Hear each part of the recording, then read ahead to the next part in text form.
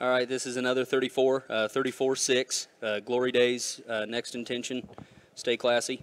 Uh, Glory Days aboard upper hand uh, was primarily just used uh, there at Hilty and Sloan's there for a couple seasons, and Travis put him in stud there. I want to say last fall, and and was real excited to get him in a sow, um, and specifically this sow, and and.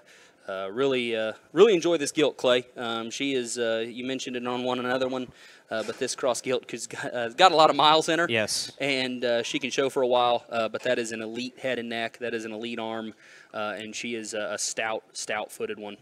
Yeah, and when she leaves you, she plants them square on the corners with good, uh, good big toes, stout skulled, but still clean about her jawline. Got a really good look and elevation about her.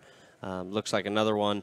You know, you could start showing her at 100 pounds and just show her all day long and, and for as long as you want to, and she's going to be uh, in the mix of things. And from a long-term perspective, as a gilt, I really think you know her value uh, after she's done showing could be very high too with with the pedigree and um, coming out of a deep litter. I always tell people uh, buy gilts out of deep litters if you want to to make consistent litters in the future, and I think this one can do that. So again, that is uh, 34-6, uh, cross gilt, glory days, next intention. Uh, stay classy.